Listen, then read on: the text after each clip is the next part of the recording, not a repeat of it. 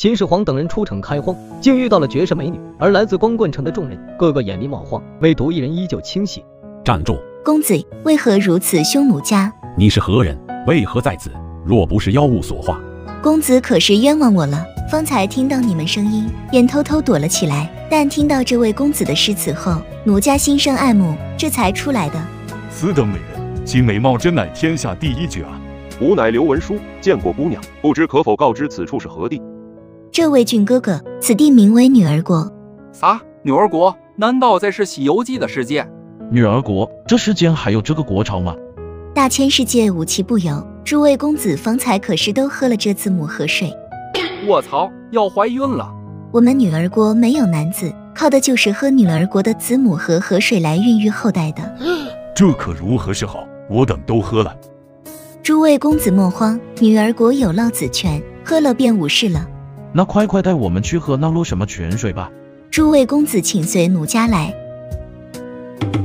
陛下，他们误入了女儿国，喝了子母河的水。朕明了，去取洛子泉的泉水吧。遵命。诸位远道而来，应该累了吧？来人啊，酒宴招待。遵命。那个，吾乃曹孟德，见过陛下。公子无需多礼，若诸位不弃，可把这里当成你们的家，想待多久就待多久。多谢好意，饭就不吃了，我们喝了烙子水便走。真哥啊，难得出城有这等待遇，可别浪费啊！行吧，那就多待几日。接着奏乐，接着舞。始皇，经过我这几天详细的观察，我发现个问题。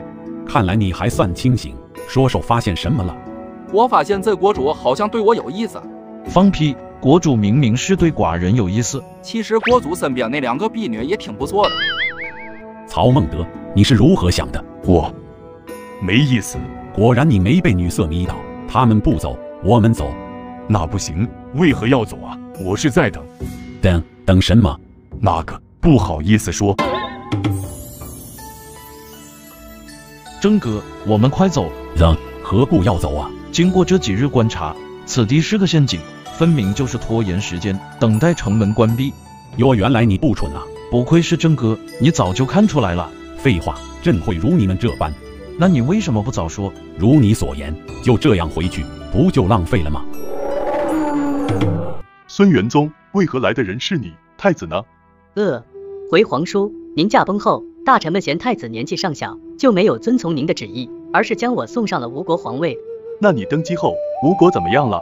回祖父，孙儿在位第六年，晋国伐吴，吴国不敌，孙儿，孙儿便投降了。后来被封为归命侯，四年后在洛阳离世。看来我东吴终究还是难逃灭国之命。不过此事有蹊跷啊！你在皇位上都干了什么？你最好老实交代，后面还会陆续降临后世的皇帝。你若不说实话，到时我一问他们便知。若我得知你说了假话，皇祖父饶命！皇祖父饶命啊！我我把皇叔的皇后和太子给嘎了！畜生啊！老子灭了你！